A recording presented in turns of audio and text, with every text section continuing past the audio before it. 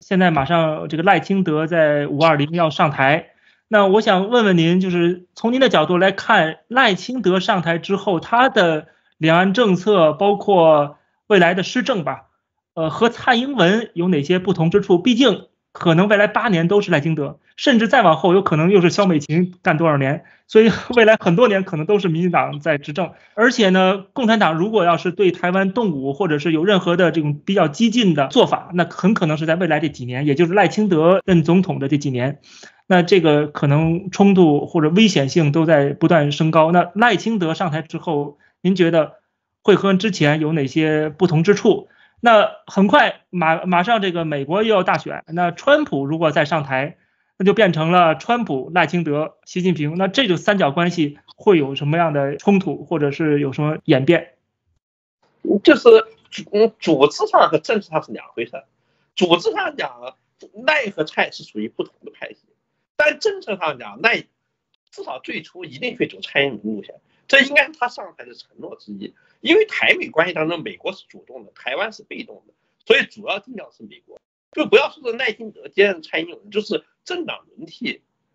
换个政党，对美政策都不能够有大变化，因为这是美国把握的很紧的范围内。如果你不是没有在上台之前就先跟美方沟通，把事来事情说好的话，你大概率根本上不了台了。所以赖清德肯定也是有沟通、有承诺的。而且肖美琴是他的副手，肖美琴是赖团中最像蔡英文的人，他自己的专业又是搞对美沟通的，所以三方面必定是早有美有默契的，甚至可以说肖美琴就是蔡英文留在赖清德政府内部的自己人，负责来把关，保证蔡英文后政权后期的对美政策能够平稳过渡，而赖清德政权相对于没有外交经验。就完全是技术官僚出身，从来没有搞过外交，口有鼻相比起来，所以赖政府一定会延续蔡英文政策，只要不爆不爆发战争的话，他这个政策会一直延续下去。但是在组织上，那是又是另外一回事。赖赖和蔡之间有台独和法独之别，赖清德是台独自己人，相当于是原教旨主义的派系。如果只依靠他自己的核心力量的话，那么这个基本盘不会大到能够保证总统选举胜利。而蔡英文呢，就是统战性比较强的人物，他能够团结，其实并非台独的很多派系，同时他自己政策也比较接近法独而不是台独。他们两个人内部在民党内部的派系出身是不一样的，彼此之间的猜忌也很深。只不过按照民进党派系共治的传统的话，不同派系像日本自民党传统的，不同派系你上我下也是正常现象。但是无论谁上谁下，没有非常重大的理由的话，原有的派系基本盘不会轻易发生变化。所以按一年，赖赖的派系和蔡的派系以及依附蔡的，跟在蔡执政蔡执政的主要特点之一就是统战。统战把民进党打造成一个曼德拉式的长期执政党，使过去在国民党时期，呃，被看作是南印外围的各种社会势力放心的归附到蔡英文政府旗下，在赖政府时期，这一点就有了问题，就是赖跟南部三角洲核心地区的派系的关系极深，他对外。外交政策不是他能够有所作为的主要地方，但是内部的资源分配，包括民进党，因为照民进党传统，胜选的总统对党务是有极大发言权的，对党内资源和人事调配，以及作为总统，作为一个强行政弱弱立法的传统的国家，在国内的资源调配方面会有。很多向中南部倾斜的做法，向他自己派系倾斜做法，一招天子一招臣。现在民进党内部已经开始有一些人事方面的异动。过去在英系掌控时期比较风光那些人，今后都要面临失业的危险。但是赖自身的派系是不大的，比如说他依靠自身的派系基本盘。不容易维持政局的稳定，他到底要做成做到什么程度？如果操作不当的话，排排斥异己的手段做的技技巧不好的话，很容易把自己做成六一个陈水扁的。但是为了避免把自己做成六一个陈水扁，就耐心等待，这肯定不是自杀派所愿意看到的。所以这一点将将来是很费猜疑的，就是怎样利用国际形势来最大化扩张自己的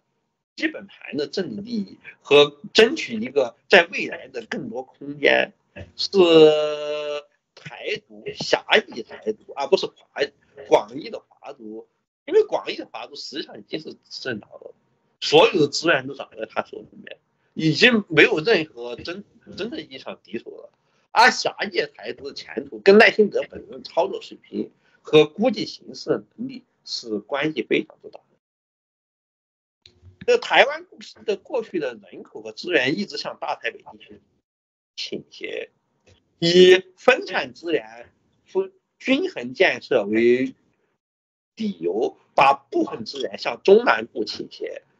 将人口和资源吸引到台南台湾来，同时。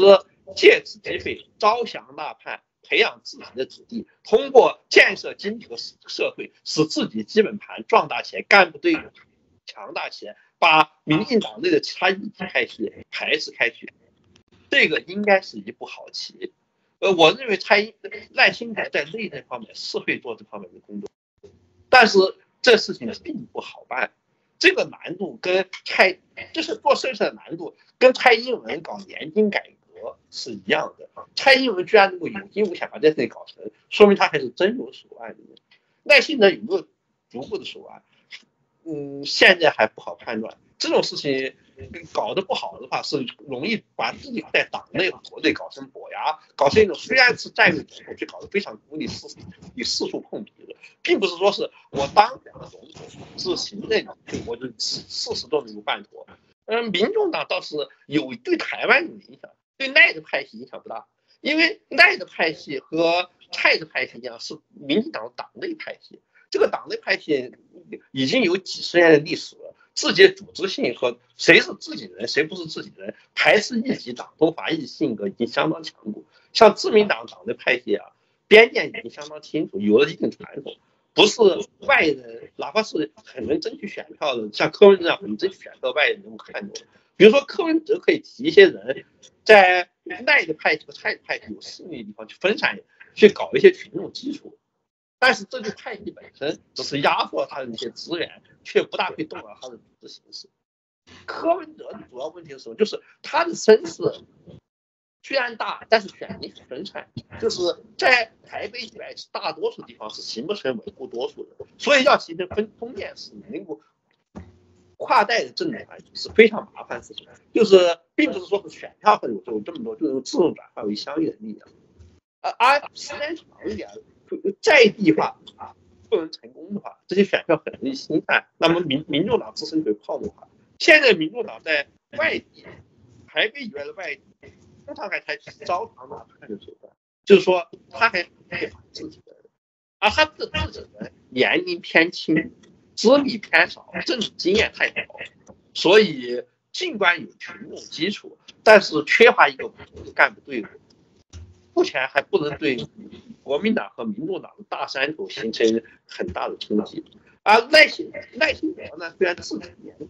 比较轻，但是他所在的派系已经是经过了世代交替、更新换代了好几次，自身是能够站得住脚的。他的真正问题是就是。他如果是成功的，那么在他卸任以后，他的派系会变得比他在任时更加强大，地位更加难以撼动。如果他是失败，就是他的派系虽然在他在在位时候凭借总统地位上搞了很多半身不遂，但是得罪人太多，虎头蛇尾，在他取下台以后，政策无法推行下去，而积累下的仇恨。却起了反咬一口的效果，他们处在比他上台以前更加窘迫的。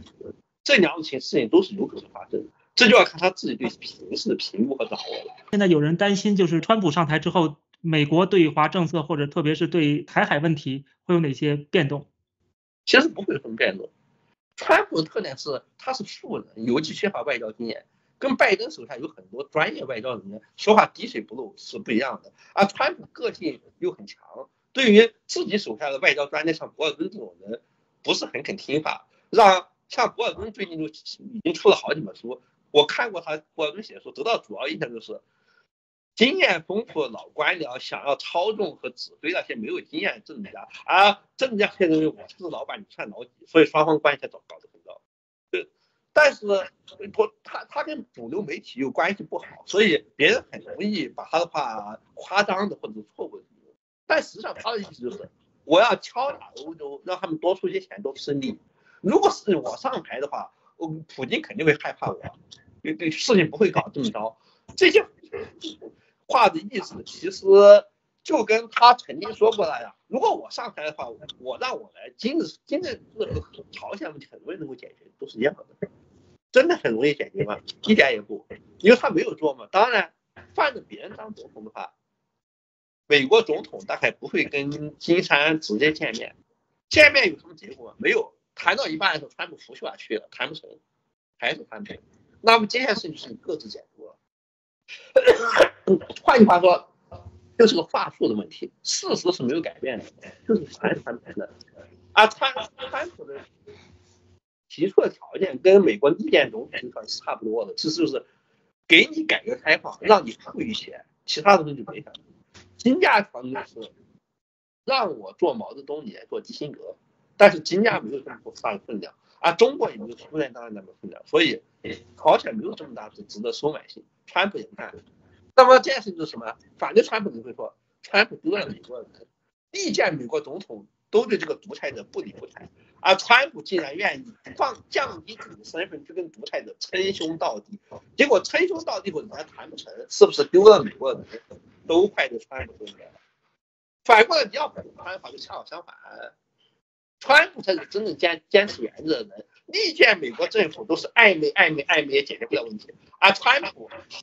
泼就大胆泼辣一下就解决，当场拂袖而去，给了独裁者一个一个耳光。川普才是真正代表美国人民和美国价值观的人，别人都是暧昧的随心分子。你看这两种说法就是恰好相反，恰好相反，其实这都是同一个事实。川普说：“我要跟跟普京谈一下，就立刻解决乌克兰问题。”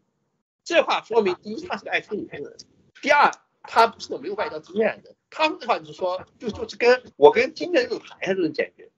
如果他真的上台去解决的话，那么我可以很有把握的说，他跟金他真的会去跟普京谈，但谈出来结果会跟金正日谈是一模一样的。川普自身没有，呃，嗯。改变美国外交政策的能力和愿望，他只是像很多像很多外行一样，把外交事务错综复杂外交事务想的太简单了，想的非黑即白了。外行人总是这么样的，那医生或者是所有专家都讨厌外行的发言，也就是这个原因。他们总是把事情想的很简单，不是这样是那样。川普先说，就说川普就说，巴勒斯坦问题有什么复杂的？换了我，我。好好的把打一下这恐怖分子，把大放枪的肉串的不就解决了吗？其实问题要复杂的多，但是他并不知道很多复杂的事。等他上台，他身边就会有一帮博尔顿这样的专家啊，前面说这样应该怎样，那应该怎样，他听了就很耐烦。但是其实也并不是这样，他也会跟普京谈判，但谈到一半又不会就像真正的谈判一样拂袖而去，因为双方的要求是根本谈不拢的。犯川普上谈的场也都是一样。大家应该还记得，就是最初在台湾问题上采取不利于中国的突呃突发行动的，首先就是川普。川普首先找蔡英文，中国对此极其不满，啊不知道为什么现在别人偏偏说川普有可能出卖台湾，这跟川普在第一个在任期的做法是恰好相反的。很明显，这里面是有人在带舆论，但这个不重要，就是台湾问题跟朝鲜问题和乌克兰问题上都是错综复杂。不是靠一个领导拍拍脑袋就能改变的，比较天真的，或者说想要哗众取宠的外行领导人，往往说：“你们搞搞得这么复杂，是因为你们不行，让我快刀斩乱麻一下，我搞得保证你。”但他真的上台以后，真的搞起个人外交，结果一定会跟金山的个人外交一样，谈是可以谈的，成是成不了的，结果必然也就是这样的，实际上不会发生任何重重要的变化。我们要注意，就是川普第一次上台以前，他也说过很多很多话。当时也有人抱怨说是川普上台，他就要解散整个西方联盟什么的。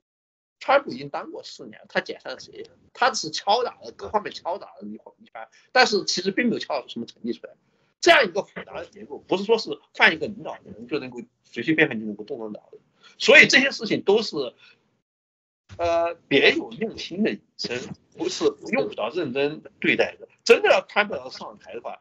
外交结构是最难改变的。他能够施加的个人外交，不会比朝鲜那一次做的更多一些，而且他根本就没有意思。而且就是说，他真正川普本人要表达意思，经常跟主流媒体引申出来的意思是相反的。这是他自身地位孤立一个表征，就在这种情况下，你就更不能够对那些呃非常可疑的一些